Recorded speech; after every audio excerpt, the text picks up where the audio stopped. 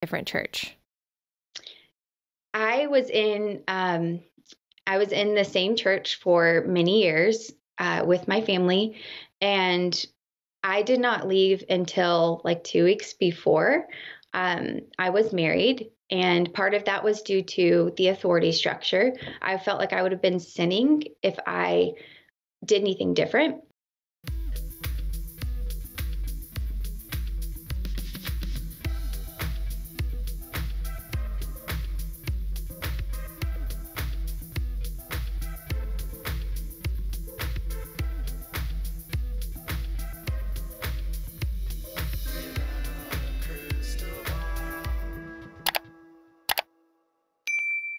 Hey everyone, it's Katie from Without a Crystal Ball. Welcome back to my channel. It's Thursday, January 26, 2023. I have some tea for you, and it comes straight from a podcast interview that Jinger Duggar Vuolo completed or did with Allie Stuckey, a Christian blogger, vlogger, podcast extraordinaire. Jinger has done an interview with People Magazine and it looks like she'll be sitting down with ABC News. But in this podcast, she actually sits down with Allie, who comes from a conservative Christian background and does a lot of stuff on the Bible on her own podcast. So in this podcast, she actually talks a little bit more about the theology of growing up under Bill Gothard and how it looked like in her home. And while I'm not going to dive into the entire 46 minute interview, there was a part towards the end of the interview that I thought was pretty interesting because I think it'll help some of you understand what is going on with Jana Duggar. While she doesn't specifically call out Jana's name and doesn't even say anything about her siblings, I think when you think of the children and how much they don't speak out and how guarded they are and how they all stay at home, you might better understand why Jana at 33 hasn't left the confines of her house and doesn't think that she can. So, this has actually been a pretty eye opening experience for me because I'm seeing a whole new side of Jinger. While I've been kind of critical and at times kind of like, I don't know what her motives are here because it's the Duggars, um, it's been pretty refreshing to hear her take on Bill Gothard. It's been refreshing to hear her actually say the words of how his beliefs are ridiculous and how they don't make sense and they're not biblical. And she even, like, at one point during this podcast, talks about the weird tangents that he goes on and how he constantly will try to think he has the fix for everything, like he's the miracle cure basically for Christians. And it was very refreshing to hear that. It was also refreshing to hear her call him Bill because the whole family actually calls him Mr. Gothard or Dr. Gothard. So it tells me that she has very little regard for him. But it was towards the end of this uh, podcast where she spoke a little bit about what it was like for her to grow up. Now, imagine you are in your 20s and you are so dedicated to the Bible, and dedicated to your faith, that you are so paralyzed by the fear that you live under because of the umbrella of authority that if you make one single mistake, something bad is going to happen to you. And then also believe that because of the umbrella of authority, your parents are basically the priests and in charge of your life. You might feel like you don't know how to do anything in your life and you can't ask questions and you can't do anything because you don't want to get outside of that umbrella and have something bad for you. We've talked a lot about the umbrella of authority and how it controls children because they truly believe if they step out of line, it's akin to witchcraft, it's akin to Satan, it's like the devil is going to come attack you. And this was something that Jinger actually talked about. And I probably, looking back, I probably could have asked my parents, hey, could I go over to my brother in law and sister's church, which is an awesome reformed church and solid preaching? But I just, another another layer of that was like am i going to be under god's authority and protection um, or am i dishonoring god by by doing that and it was actually pretty impressive because she talked about what they think about women in this church in this belief system. Let's dive into this video but of uh, Jinger explains what it's like to live under the gothard isms and why Jana might stay. Um, but before we do, can you do me, uh, could you please give this video a thumbs up? Also subscribe to my channel if you have not yet subscribed. Turn your notifications on so you know when I go live or new content loads by clicking on the bell. And always make sure to share this video with your friends and leave a comment if you have something to say. So this is well into the second half of the interview. The first half, she talks a lot about how she got out of the beliefs, how they actually watched like a lot of the Gothard uh, seminars with Jeremy and dissected every single aspect of the seminars where she finally sort of woke up to the realization that, oh my gosh, this isn't even biblical to the point of now today as a almost approaching 30 years old in her life and she is not living in fear anymore but it was that same fear that kept her paralyzed and at her parents church until 2 weeks before she even left the home. Yep that's right. She was so afraid to even go outside of that umbrella of authority that she stayed in a belief system that she didn't necessarily believe in. Shocking right? After she reveals the part about growing up, not leaving the church, she then goes on to say this. Um, because adult kids, even women, can't ever have a job outside the home. You can't, um, well, you can't work outside the home, but you can't live outside of the home either. Until you're married. Until you're married, mm-hmm. then that mm-hmm. transfers to your husband. Even so, for a large part of this interview, she really talked about, in a lot of different ways, how devout she was to this belief system and how much she stood by these beliefs because she felt like this is what she was raised in. It was the only thing that she knew. Uh, this is what their church was. They didn't really go to church. They literally just watched Gothard's videos, which I've actually told you. Can I just say that I'm, it's so refreshing to hear her admit to things that I have reported on for years that they've denied or people around them will deny and say that I'm lying. It's, it's very validating to know that the people that are talking to me are telling me the truth and that it's not this fallacy that they grew up watching Gothard videos that that the, that was their church and that they couldn't leave home because of this and this is how the house was controlled. It's validating to know that the information i'm getting is truthful and then it's validating to see her admit it in a way where she's no longer protecting the lie. And the lie was that we can do whatever we want. We choose to do this. It's because we want to. Well, no, she's saying as adult women, we're not allowed to go outside of the house. We can't have jobs outside of the home. We have to stay at home until we're married and until it can transfer to our husbands. Because in the teachings of Bill Gothard, his belief is that a woman on her own right cannot ever be a headship in any capacity.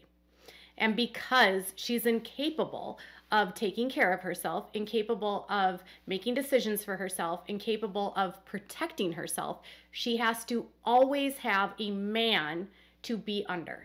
And it's ridiculous because then he will, in his seminars, give stories about adult women that move out and live on their own. And then he will correlate that to saying she then uh, ended up becoming pregnant and she got a disease and she died. And it's all because she disobeyed her parents so there's always this like re- like this wormhole he goes down to with these fake stories he tells you about how if you do that something bad is going to happen to you. So here she is saying i couldn't leave because of this and I, it had to be transferred to my husband. And it's now where they start talking a little bit more about age. Your husband even if you're 40 no even if you're 40 you you should remain at home. And mm. otherwise it's this umbrella of authority that Bill Gothard taught mm. is that God is here, He's up here, and then your parents are here and you're below that umbrella. If you come out from under their authority by moving out of the home, by getting a job, then you're opening yourself up to Satan's attacks because you don't have an umbrella to protect you. So that's what I believed wholeheartedly. And that's why I stayed. So, hmm. the way she explains it is what we've talked about on this channel a million different times. And we've said this is why Anna stays, this is why Jana stays, this is why the kids don't speak out because of the umbrella of authority. They are indoctrinated and brainwashed to believe that if they defy Jim Bob, who is their headship, that they will become outside the of protection. Without protection, Satan can get their strongholds inside their hearts and change their heart. They can, the safeguards, the bumpers are gone, and they can fall into witchcraft. They can fall into financial ruin, they can fall into death, they can fall into a whole host of things that he tells kids that if you don't obey your family, this bad thing's going to happen. Now, it might work for a kid when they're younger, but when you paralyze an adult that way, then you're actually creating a very unhealthy codependent relationship between an adult child and a parent where the adult child has no skills to actually move on because they think if they do, something catastrophic is going to happen to them, even though it doesn't if they leave. But it's that fear that keeps them stuck. And so we think about this when we think about the kids that have not spoken out against Josh or have not said anything about Jinger's book. I'm assuming if we go by the same testimony by Jinger, they are afraid that if they say something that they know Jim Bob doesn't approve of, something bad will happen to them. Now, in the case of Jim Bob, he takes this to a level of extreme and he will do things to punish. Kids will end up getting shunned, they will get financial things happen to them. So, in one breath, you have her saying, Well, Gothard would say these things would happen. And in another breath, you actually have the father or the parents implementing that by cutting them off financially, by labeling them dangerous, by calling them witch, you know, rebellious witchcraft Satan people. You know, they are no longer safe to the community because they have thought for themselves. But the weird thing is is as more people leave and nothing bad happens to them in the 21st century that we're in today, you can't keep up any like the cult can't keep up with technology. So it's going to have to evolve and change or it's going to have to continue to keep kids away from the internet because this is the advent of the world where they can go online now and they can find anything and they can find information about if this is real and they can find survivors that have left and see if they've if bad things have happened to them. Did they get cancer? Did they become ugly? Did their fingers fall off? Did they lose all their money? Or did they find success? Did they have a happy family? Did they find something else in their lives that makes them happy? Did they find freedom? Now, whether you agree with her current church or not, and whether you believe that her current church is as bad as Gothard and you think she's traded one cult for another, it's very evident to me that at least some of that very legalistic bondage that she had under Gothard is slowly gone for her. And it, she said it took a long time. And you're hearing her speak in a more dynamic way. She sounds a hell of a lot more intelligent.